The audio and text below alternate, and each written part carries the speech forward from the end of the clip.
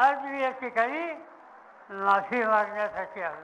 काही लोक म्हणजे की तुमचं वय झालं. तुम्ही आता निवृत्त करा वय झालं हे खरं आहे ती गोष्ट आम्ही सहन करणार नाही. आणि ती गोष्ट कोणी करत असेल तर त्याला त्याची किंमत आज उद्या द्यावी लागेल. तो इतिहास इथं घडेल. या भागाची खात्री या ठिकाणी. आज मी इथं आलोय. कोणाचं कौतुक करण्यासाठी नाही. कोणा टीका करण्यासाठी नाही. आज मी या ठिकाणी माफी मागण्यासाठी आलो. मी माफी यासाठी वागतो की माझा अंदाज कधी फारसा चुकत नाही. पण इथं माझा अंदाज चुकला. माझा अंदाज चुकला. माझ्या विचारावर निकाल घेतले आणि त्यामुळे तुम्हाला यातना झाल्या. आणि तुम्हाला यातना माझ्या निर्णयामुळे झाले असतील तर माझं कर्तव्य आहे की तुम्हा सगळ्यांची माफी मागायची. पण माफी मागत असताना दुसरी गोष्ट की कधी काही लोकांच्या समोर जायची वेळ येईल. आज येईल उद्या येईल परवा येईल महिन्याने येईल नाही तर येईल त्यावेळेस पुन्हा इथं येईल आणि पुन्हा इथं येऊन सुख करणार नाही. योग्य निकाल सांगेल ज्याला या तालुक्याच्या मतदारसंघाच्या जनते साथ ही निराविषय राहणार नाही.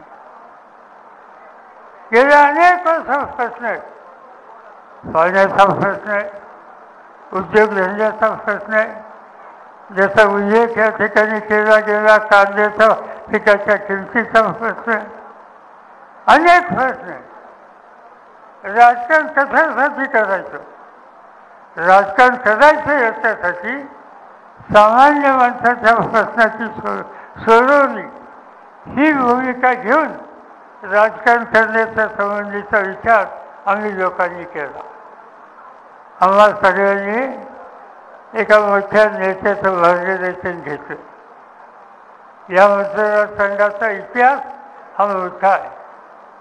स्वातंत्र्याच्या संघर्षामध्ये म्हणजे पैकीयांच्या विरुद्ध काही लोक म्हणजे की तुमचं वय झालं तुम्ही आता निवृत्त करा वय झालं हे खरं आहे. वय ब्याऐंशी झालं खरं आहे. पण कधी काय हे तू फायदा आहे कुठे? अजून काय फक्त जास्त काय सांगायची गरज नाही. उगे वया बियाच्या भांड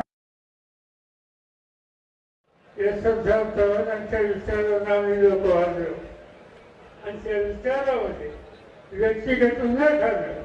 व्यक्तिगत हल्ले या गोष्टी कधी झालेल्या नाही आणि ती चक्राने एकच आहे की ज्या जनतेने निवडून दिलं त्या जनतेला जे वचन दिलं त्या जनतेचा जो विश्वास संभाषण केला त्या जनतेच्या विश्वासाला त्याला वचन असं फाऊल तुम्ही टाकलं असेल तर ती गोष्ट आम्ही सहन करणार नाही.